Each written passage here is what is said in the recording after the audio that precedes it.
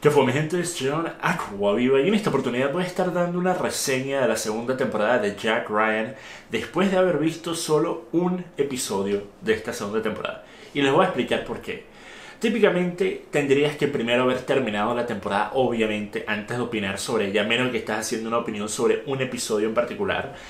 Pero creo que va a ser muy difícil que yo pueda seguir viendo esta serie después de lo que vi en el primer episodio, que dura unos 58 minutos, ya que hicieron un 180 completo a lo que hicieron en la primera temporada, pero no solo eso, sino que lo llevaron hasta un punto en el que es verdaderamente ofensivo y no solo ofensivo, sino que se vuelve propaganda izquierdista. Se vuelve propaganda izquierdista esta serie. Les voy a explicar por qué. Primero, para los que no sepan, Jack Ryan es un programa de Tom Clancy creado por Amazon. Es la, primera temporada es, eh, a mi parecer, muy buena. Me gustó bastante. Yo al final de la primera temporada le di una reseña muy positiva. Y una de las cosas que me había gustado, obviamente más allá del hecho que me gusta John Krasinski como actor, John Krasinski es el mismo de The Quiet Place, esa película de terror que me pareció también muy buena, que él la dirigió también. Em, lo que me había parecido tan interesante de la primera temporada es que se salieron de la típica narrativa en el que únicamente vemos las intenciones y lo que está detrás de esas intenciones de una de las partes. Entonces típicamente estamos viendo por qué los americanos están haciendo lo que ellos están haciendo y quien sean los enemigos de los americanos son simplemente malas personas. No se explica cuál es su intención, no se explica cuál es su motivación, es simplemente son malas personas y los americanos son los buenos.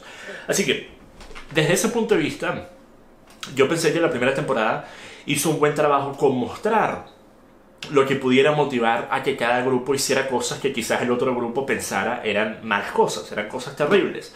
Y me pareció bastante interesante ver esto, ya que, como dije, comúnmente no vemos este tipo de narrativas en series de Hollywood.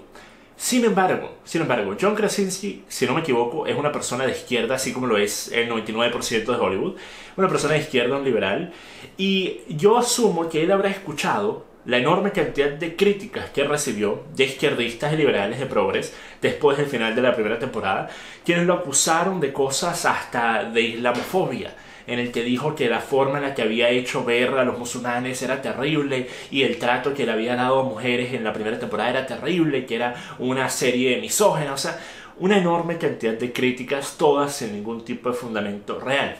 Pero yo asumo que él habrá escuchado estas críticas y él habrá dicho, bueno, ¿sabes qué? Para la segunda temporada vamos a apaciguar las aguas con mis amigos. Vamos a agradar más a mis amigos. Entonces vamos a hacer algo un poco diferente. No solo tenemos una narrativa en la que crean a una Venezuela ficticia, una Venezuela que no tiene nada que ver con la Venezuela real. Y obviamente yo entiendo que primero estamos hablando de una serie de Tom Clancy. Tom Clancy es un escritor justamente, bueno, era un escritor justamente de este tipo de series, de este tipo de cuentos, de llevar las cosas a la décima potencia para hacer que sea más entretenido. Pero hay muchas cosas que no tenían que haber sido cambiadas y que al cambiarlas estás saliéndote de que sea Venezuela y estás creando un país. Entonces, ¿por qué no darle un nombre nuevo? ¿Por qué no crear un país de la misma forma que hacen en videojuegos? Pero, cuando tú empiezas a ver que, obviamente, todo está grabado en Colombia, hasta donde pude ver en el primer episodio, lo cual es entendible, ya que el, régimen chavista no les hubiera dado permiso para grabar en Venezuela y encima de eso la inseguridad, o sea, es entendible por qué graban en Colombia, pero es que los lugares en Colombia que escogieron para grabar son los lugares más occidentales posibles. O sea, por ejemplo, hicieron que el Palacio Miraflores fuera eh, el Palacio Nariño, o por lo menos la parte enfrente del Palacio Nariño. Una estructura totalmente eh, europea desde el punto de vista arquitectónico. Así que a mi parecer, el escoger estos lugares para crear una imagen de Venezuela que está tan alejada de, la Venezuela real es innecesario.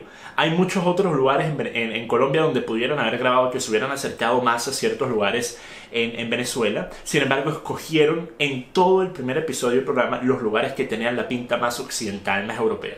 Después tenemos cosas como un niñito que viene pidiendo limosnas y hace un baile de tap. Está bailando tap pidiendo limosnas. Y después le dan unas monedas, que si son monedas de dólar o monedas de centavos de dólar, ¿qué va a hacer con eso si eso no lo puedes cambiar en ningún lado? Cambian únicamente billetes. Así que cosas como esas, ¿verdad? Demuestran únicamente que verdaderamente no les importaba en absoluto mantener ninguna línea narrativa realista.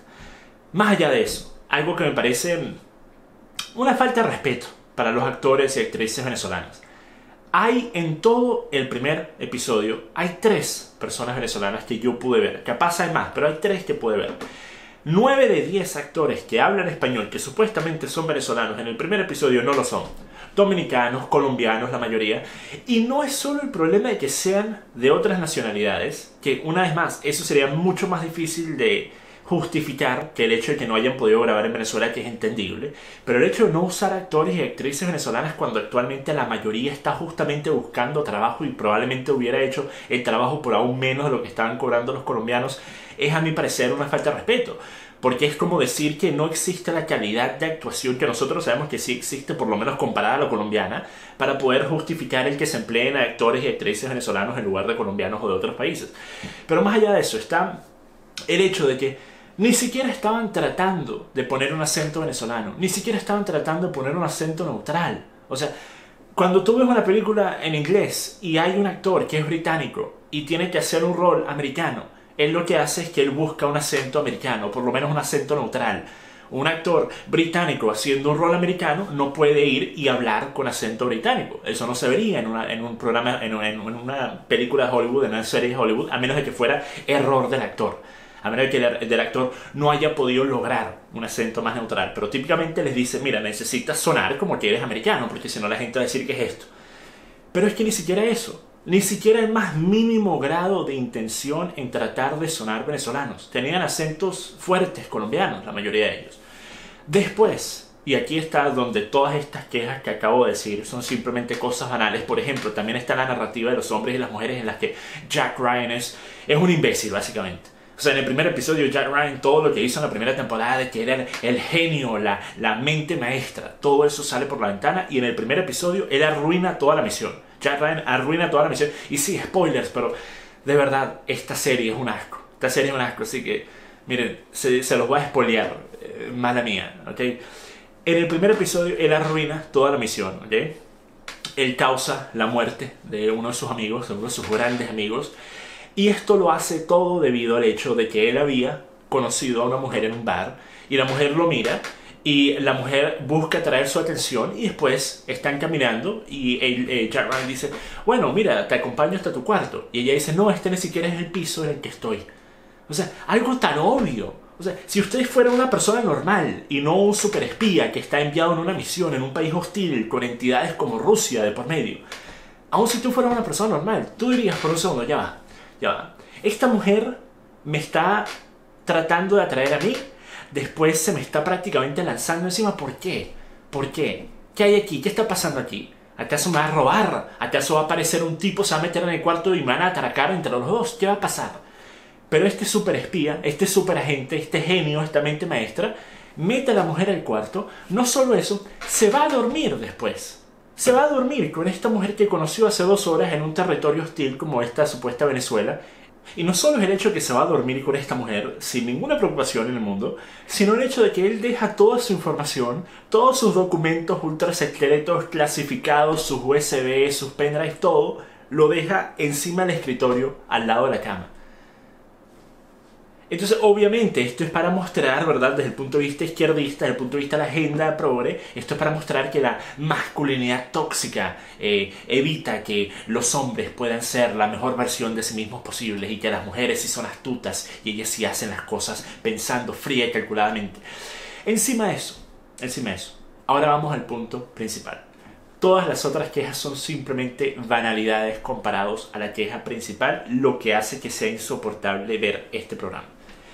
Durante este programa les explican que hay una gran crisis en Venezuela, explican el hecho de que Venezuela tiene las reservas eh, minerales más grandes del mundo y que cómo es posible que la gente esté pasando hambre. Así que explican la crisis en Venezuela desde el punto de vista de la crisis que existe actualmente, no de cómo llegó a existir. Ahora, seguimos escuchando y hay una parte en la que yo noto que muestran a la que supuestamente es la líder de la oposición, una mujer y dicen, esta mujer es eh, una liberal y está a favor de la justicia social. Esa es su, su gran cosa y está a favor de la justicia social. Entonces ya por ahí yo empiezo a pensar, justicia social, bueno, pudiera ser que quizás alguno de los que estaba produciendo este, este programa sabe de María Corina Machado y dijo, bueno, vamos a, hacer una versión de María Corina Machado ficticia. Pero después resulta que hay una escena en la que están sentados en un comedor los hijos de uno de los altos mandos del gobierno venezolano. Y están sentados los hijos, bueno, la hija con sus amigos. Y después los padres llegan y dicen, mira, ya te tienes que ir a dormir, dile a tus amigos que se vayan. Y discuten con, con la hija. Y después, un segundo después de que la hija se ha ido, el padre dice, esto es lo que pasa por andarse juntando con esos izquierdosos amigos de ella. Yo digo, esos izquierdosos amigos de ella.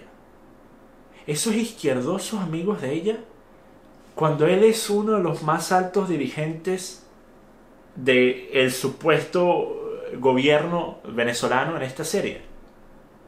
Así que lo que esta serie ha hecho, lo que Jack Ryan ha hecho en la segunda temporada, han hecho que el régimen chavista en esta serie sea de derecha.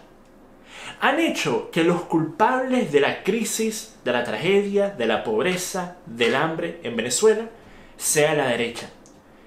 Y que la oposición sea una oposición de izquierda, porque los mismos amigos que son llamados izquierdistas por este hombre estaban justamente hablando sobre esta mujer antes de que el hombre llegara y, dijeron, no, sí, a mí me encanta cómo ella habla, ella está a favor del derecho y la libertad para todos. Así que ella es la izquierda, ella es la opositora, ella es la candidata de la, de la justicia social y el presidente en Venezuela es un terrible dictador de extrema derecha. Miren, miren, yo sé, ¿verdad? Yo sé que muchos de ustedes quizás estén viendo esto y digan Ascuaviva, pero es una serie de televisión Ascuaviva, vamos, relájate Ascuaviva, ¿vale? Primero, yo estaba viendo este primer episodio con mi novia, con Asal, ella siendo iraní, ella me dice, mira, ahora sabes cómo me he sentido yo eh, muchas veces a lo largo de los años viendo cómo muestran a los iraníes en televisión, en películas, en series, y nunca son iraníes, son árabes y se graban en otras partes, inclusive algunas veces los graban en Estados Unidos, en el medio del desierto y hacen parecer que eso es Irán, así que yo ahora sabes cómo se siente. Y desde ese punto de vista, sí, los venezolanos no somos los primeros que han recibido ese trato de Hollywood, obviamente, ni seremos los últimos. Pero el hecho de que hayan ido al extremo de tratar de reescribir la historia para una audiencia principalmente occidental, de la cual la mayoría no va a saber lo que está pasando en Venezuela y de los cuales un gran porcentaje no va a estar interesado en buscar en Google si esta serie es realista o no.